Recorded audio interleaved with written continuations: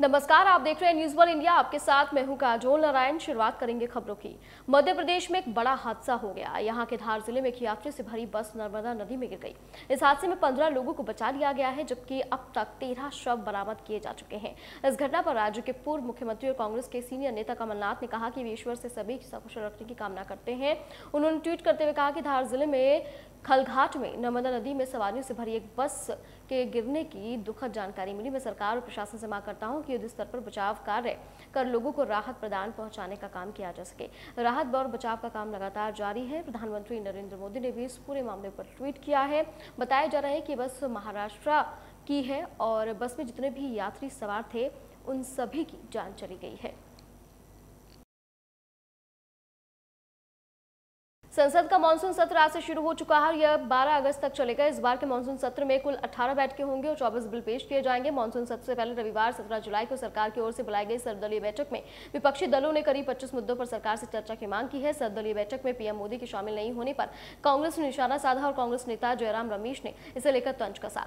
बारह अगस्त तक चलने वाले संसद सत्र के दौरान राष्ट्रपति और उपराष्ट्रपति दोनों अहम संवैधानिक पदों पर के लिए चुनाव भी होने हैं। और आज राष्ट्रपति पद के लिए चुनाव हो रहा है। रविवार को सर्वदलीय बैठक में छत्तीस दलों के नेता शामिल हुए। इनमें BJP, Congress, TMC, NCP, DMK, Sapa, Basapa, RJD और अन्य दलों के नेतागण शामिल हुए। इस बैठक के बाद राज्यसभा में विपक्ष के नेता और कांग्रेस सांसद मल्लिकार्जुन खड़गे ने कहा कि विपक्ष की ओर से पच्चीस मुद्दों पर बहस की मांग है, जिनमें तेरह मुद्दे उनकी पार्टी की तरफ़ से उठाए जाने हैं। मुख्य रूप से महँगाई, अग्निपथ योजना, बेरोजगारी, केंद्रीय जाँच एजेंसी का दुरुपयोग और रुपयों की गिरती कीमत के मद्देनजर अर्थव्यवस्था की स्थिति जैसे मुद्दे शामिल हैं। राष्ट्रपति चुनाव में इस बार एनडीए की उम्मीदवार द्रौपदी मुर्मू का पलड़ा, विपक्ष के उम्मीदवार यशवंत सिन्हा की तुलना में भारी नज़र आ रहा है क्योंकि विपक्ष की कुछ पार्टियों ने भी मुर्मू को समर्थन देने का ऐलान किया है। बीजेपी ने जैसे ही द्रौपदी मुर्मू को अपना उम्मीदवार बनाया, कुछ विपक्षी पार्टियाँ भी उनके साथ हो गई, खासकर झारखंड, मुक्ति मोर्चा, बीएसपी, उद्धव कुट और राजभर की पार्टी। ये सभी जो विपक्ष के साथ खड़े नज़र आते हैं, मुर्मू के समर्थन में आ गए, जिसके बाद मुर्मू की ताकत बढ़ गई है। अंकगणित में द्रौपदी मुर्मू आगे निकलती दिख रही हैं और आखिर ये कैसे हुआ है? दरअसल आंकड़ों के ज़रिए समझा जाए तो राष्ट्रपति चुनाव में सांसद और विधायकों को कुल मिलाकर दस लाख इक्यासी हज़ार नौ सौ इक्यानवे वोट है। राष्ट्रपति चुनाव में जीत के लिए बहुमत का आंकड़ा पाँच लाख चालीस हज़ार से ज़्यादा वोट है। अब देखिए, द्रौपदी मुर्मू के पक्ष में कौन कौन है? बीजेपी ने उम्मीदवार बनाया है जिसके पास करीब साढ़े चार लाख वोट है। वही वाई कांग्रेस के करीब पैंतालीस हज़ार वोट भी उन्हें मिलना तय है। बीजेडी, जेडीयू ये सभी जो दल हैं, वो मुर्मू के साथ नज़र आ रहे हैं। सुबह 10 बजे से वोटिंग शुरू हो चुकी है। 5 बजे तक वोटिंग होनी है। यूपी के मुख्यमंत्री योगी आदित्यनाथ सबसे पहले वोट डाल चुके हैं। आम जनता पर आज से महँगाई का बोझ बढ़ गया है। जीएसटी काउंसिल की बैठक के बाद सरकार ने कई प्रोडक्ट्स और सर्विसेज़ पर टैक्स के रेट में बदलाव कर दिया है, जिसकी वजह से आज से आपको नए रेट देने होंगे और नए टैक्स चुकाने होंगे। बता दें कि कई सारे सामान पर ज़्यादा जीएसटी चुकाना होगा। जीएसटी काउंसिल ने आम आदमी पार्टी के इस्तेमाल वाली कई चीज़ों पर टैक्स रेट बढ़ाने का फैसला किया तो कई सामानों में मिल रहे जीएसटी छूट को खत्म करने का फैसला किया है। आप बता दें कि जीएसटी की नई दरें आज से यानी कि अठारह जुलाई से लागू हो रही हैं तो आप जान लीजिए कि आज से कौन कौन से सर्विसेज़ और प्रोडक्ट्स पर आपको ज़्यादा पैसे खर्च करने होंगे। पैकेट बंद और लेवल वाले प्रोडक्ट्स पर अठारह की दर से जीएसटी लगाया गया है। वहीं पहले इस पर सिर्फ़ पाँच की दर से टैक्स लगता था। इसके अलावा नारियल पानी पर 12 फ़ीसदी और फुटवेयर के कच्चे माल पर भी 12 फ़ीसदी जीएसटी की नई दरें लागू होंगी। मछली, दही, पनीर, लस्सी, शहद, सूखा मखाना, सूखा सोयाबीन, मटर जैसे उत्पाद, गेहूँ और अन्य अनाज तथा मुरमुरों पर अब पाँच प्रतिशत जीएसटी लगेगा। श्रावण मास के पहले सोमवार पर श्रद्धालुओं को जनसैलाब उमड़ गया। आगरा के राजेश्वर मंदिर में श्रद्धालुओं की लंबी लंबी कतारें मिली। बम्मा भोले की गुंज से शिवालय गूंजते हुए नज़र आए। सावन के पहले सोमवार को गौरीशंकर मंदिर में भी भक्तों का सैलाब उमड़ गया। सुबह से ही लाइन में खड़े होकर अपनी बारी का इंतज़ार कर रहे भक्त काफ़ी ज़्यादा खुश नज़र आ रहे थे। मंदिरों में भक्तों की लाइनें लगी हुई है। सिद्धपीठ बाबा गौरशंकर मंदिर का गौरवशाली इतिहास रहा है। राजा हर्षवर्धन के राज में एक हज़ार पुजारी यहाँ पर पूजा करते थे। कन्नौज शहर में स्थित है सिद्धपीठ बाबा गौरशंकर का मंदिर। श्रावस्ती के सभी शिव मंदिरों पर जलाभिषेक करने के लिए शिव भक्तों का तांता लगा। सभी शिव मंदिरों पर सावन के पहले सोमवार को शिव भक्तों का तांता लगता हुआ नज़र आया। इसको लेकर प्रशासन पूरी तरह से अलर्ट रहा और सीसीटीवी कैमरे से निगरानी भी रखी गई। पीपलकोटी विष्णुगार जल विद्युत परियोजना की कार्यदायी संस्था टीएचडीसी द्वारा हेलंग में टिंचिंग ग्राउंड का निर्माण किया जा रहा है, लेकिन हेलंग गाँव के कुछ ग्रामीणों द्वारा टिंचिंग ग्राउंड बनाने का विरोध किया जा रहा है। सूचना पर तहसीलदार के साथ पुलिस बल ने मौके पर पहुंचकर निर्माण कार्य रुकवा रहे लोगों को वहाँ से हटाया। बता दें कि जिस भूमि पर हेलंग गाँव के कुछ लोग द्वारा टिंचिंग ग्राउंड बनाने का विरोध किया जा रहा है, जबकि जहाँ उन लोगों द्वारा अपनी गौशाला बनाई गई है। ये मामला असल में एन के दौरान जब कटिंग हुई रोड की, उस दौरान जो है कि हमारे जो न्याय पंचायत थ्रेलंग और मिनी सचिवालय भी है। और रोड चौड़ीकरण के दौरान हमारा जो साधन सहकारी समिति का गोदाम था, वो भी टूट गया था। पशुपालन चौकी थी, वो भी टूट गई। और जो हमारा कोऑपरेटिव बैंक है, ये तमाम जो गाँव की जो ये छोटी छोटी जो हमारी जो शाखाएँ थी उनके सारे कार्यालय टूट गए थे उनका पैसा हमको मिला हुआ था। और न्याय पंचायत स्तर पर हमको कार्यालय बनाने थे। लेकिन हमारे पास ज़मीन नहीं है। और ये जिस ज़मीन के विवाद में इन लोगों ने कब्जा कर रखा है ये सारी ज़मीन सरकारी है। और हमने प्रस्ताव दे रखा विभाग को कि हमारे यहाँ कार्यालय बनाए जाए। बताना चाहूँगा डी के द्वारा केलंग में यहाँ पे स्पॉट पे एक खेल का मैदान बनाया जा रहा है। ठीक है, जिसका अनुमोदन आ गया है। और जो ग्रामीण, तीन, दो, तीन परिवार हैं जिनके द्वारा, और ये सरकारी भूमि है यहाँ पे, पर फिर भी जो दो, तीन परिवार हैं, उनके द्वारा अनावश्यक के कार्य को रोका जा रहा है। और उनसे दो, तीन बार हमने वार्ता भी करी थी।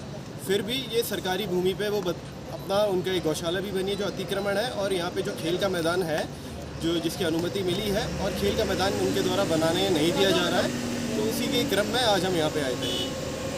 पंचायत चुनाव को लेकर चुनाव आयोग पर लापरवाही बरतने का आरोप लगाते हुए ग्रामीणों के जमकर प्रदर्शन किया। कांग्रेस विधायकों ने भी चुनाव आयोग पर लापरवाही बरतने का आरोप लगाया। चुनाव आयोग पर पंचायत चुनाव के लिए किए गए परिसमन में लापरवाही बरतने का आरोप लगा है।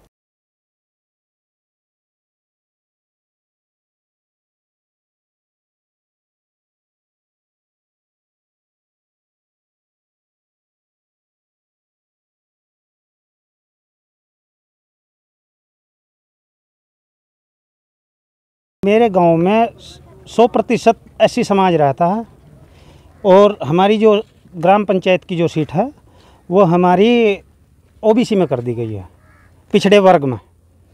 और हमारी समस्या है हमने आपत्ति भी लगाई, उसके बाद भी हमारी कोई सुनवाई नहीं की गई। और उसके बाद हमें कहा गया कि फ़िलहाल यही रहेगा।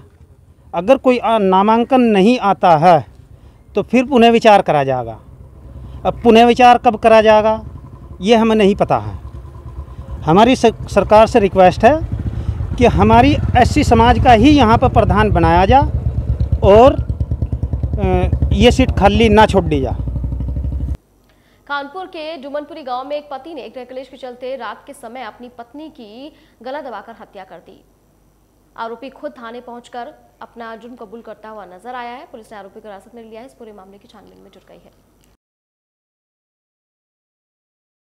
उत्तरकाशी के गंगोत्री धाम से आगे गंगा उधम स्थल गौमुख जा रहे थे। जल भरने दो व्यक्ति व्यक्ति साथ में थे, जो कि गंगोत्री से कुल तीन किलोमीटर पर एक व्यक्ति की हार्ट अटैक आने से मौत हो गई। जिसकी मौत हुई, उसका नाम प्रताप बताया जा रहा है, जिसकी उम्र चौवन साल है। वहीं दिल्ली का रहने वाले बताया जा रहा है, गंगोत्री नेशनल पार्क चेकपोस्ट के इंचार्ज राजवीर रावत ने और उसकी टीम मौके पर पहुंचकर रेस्क्यू करके गंगोत्री धाम के अस्पताल में पहुँचाया, लेकिन उसे मृत घोषित कर दिया गया। लूट की वारदात से सनसनी लगातार फैल रही है। अज्ञात बदमाशों ने युवक से बाइक लूट ली, मोबाइल फ़ोन लूट लिया। वारदात को अंजाम देकर लुटेरे फरार हो गए। पीड़ित की सूचना के घंटे बाद मौके पर पुलिस पहुँची। थानेपुर का रहने वाला पीड़ित बताया जा रहा है।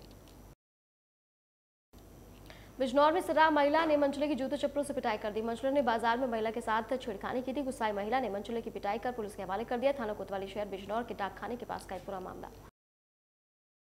पीलीभीत में भाई के बच्चों को देखने गई बहन को। भाई के ससुराल वालों उसकी पत्नी ने गाली गलौच मारपीट कर पिता के साथ गई बहन और उसके पिता के साथ भी जमकर मारपिटाई की है। दूसरी बेटी की ससुराल आ रहे ससुर को बहू के भाइयों ने रास्ते में घेर लिया और मारने की कोशिश की। पूरी घटना वहाँ लगे सीसीटीवी कैमरे में कैद हो गई। घटना की सूचना मिलते ही थाना पुलिस मौके पर पहुँचे। इस पूरे मामले की छानबीन में जुट गई है। सुनगढ़ी मोहल्ला का काला मंदिर के पास की घटना। देवरिया में किसान परेशान है। सूखे की आड़ से सभी डरे हुए हैं। ऐसे में ग्रामीण महिला सावन के इस महीने में भगवान शिव से गुहार लगा रही हैं कि बरसात हो और उनकी फ़सलों को पानी मिल सके। गौरी बाज़ार थाना क्षेत्र के पोखर भिंडा गाँव के बाहर मंदिर के पास दर्जनों की तादाद में महिलाएँ नाच रही हैं, गीत गा रही हैं, एक दूसरे को पानी से भिगो रही हैं और भोलेनाथ से पानी की गुहार लगा रही हैं।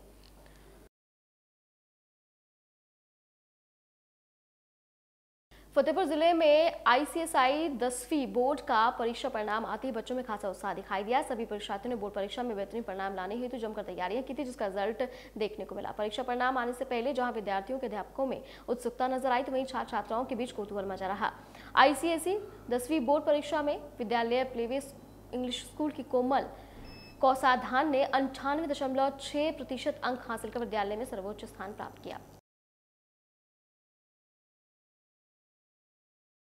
लुलू मॉल के बाहर करनी सेना का जमकर बवाल हुआ है। हनुमान चालीसा पाठ पढ़ने को लेकर बवाल हुआ। मौके पर पुलिस प्रशासन ने हालत को काबू किया। पिछले कई दिनों से लगातार अराजकता को लेकर लुलू मॉल की सुरक्षा में पीएससी तैनात कर दी गई है। अराजक तत्वों के पर ड्रोन से निगरानी भी रखी जा रही है। आपको बता दें कि पिछले दिनों नमाज़ पढ़ने का वीडियो वायरल हुआ था। जिसके बाद हिंदू संगठन ने हनुमान चालीसा का पाठ करने की यहाँ पर बात कही गई थी, जिससे पहले ही पुलिस प्रशासन पूरी तरह से अलर्ट मोड पर काम कर रहा है।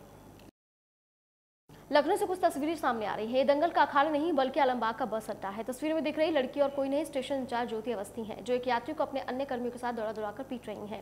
जिसका सोशल मीडिया पर वीडियो वायरल हो रहा है। इससे पहले ज्योति पत्रकारों को भी पीट चुकी है। आप बता दें कि ऐसे भी आरोप लग रहे हैं कई बार छूट मिल चुकी है। इनके ऊपर भ्रष्टाचार करने का आरोप भी लगा तो अपने कार्यालय से आलमबाग बस अड्डे पर तैनात कर दी गई। पत्रकार को पीटने के मामले की बोस ने एआरएम रहे डी के पर दबाव बनाकर ज्योति के फेवर में रिपोर्ट लिखवा दी थी। लेकिन अब ये पूरा वीडियो वायरल हो रहा है, जिसके आधार पर जाँच की बात की जा रही है। लखनऊ के शहीद पथ के मिलेनियम कॉम्प्लेक्स के पास खड़ी इरफान सोलंकी की गाड़ी पर हमला हुआ है। मिलेनियम कॉम्प्लेक्स के पास खाली गाड़ी थी और इरफान की क्रेटा कार बताई जा रही है। विधायक इरफान सोलंकी अपनी गाड़ी पार्क करके किसी काम से गए थे, जब गाड़ी पर हमला हुआ। इंस्पेक्टर थाना सुशांत गोल्फ सिटी, शैलेंद्र गिरी ने बताया कि किसी चीज़ से इरफान सोलंकी कार का पीछे का शीशा टूटा। इरफान सोलंकी की तहरीर के ऊपर थाना सुशांत गोल्फ सिटी धारा चार सौ सत्ताईस के अंतर्गत मुकदमा दर्ज कर लिया गया है। भाजपा नेत्री की दबंगई सामने आई है। पुलिस के सामने ही भाजपा नेत्री दबंगई दिखा रही थी। भाजपा नेत्री की दबंगई का वीडियो वायरल हुआ है। भाजपा नेत्री सुनीता शर्मा की दबंगई का वीडियो बताया जा रहा है। वायरल वीडियो में भाजपा नेत्री का कहना है कि पहले भी एक ठेला हटवा चुकी हूँ। वायरल ऑडियो में भाजपा नेत्री का कहना है कि मैं किसी नेता की नहीं सुनती। भाजपा की महानगर मंत्री है सुनीता शर्मा। पुलिस के सामने ही ठेले वाले को धमकाती हुई नज़र आ रही है, जिसके आधार पर रिपोर्ट दर्ज कराने के लिए पीड़ित पहुँचा था।